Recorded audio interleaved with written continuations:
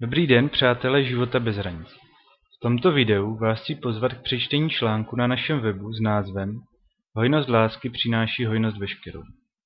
Všichni pořád hledají složité postupy, jak být šťastný a jak být bohatý, zdravý, jak žít život svých snů nebo jak si splnit svá přání. Někde píšou, musíš udělat těchto pět kroků a ty tě zaručeně dovedou k cíli.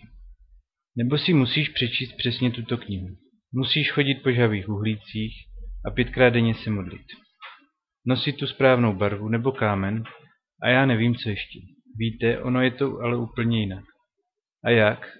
To se dozvíte v článku. Klikněte na odkaz pod videem a přečtěte si celý článek. Nezapomeňte také článek sdílet se svými přáteli. Pěkný den.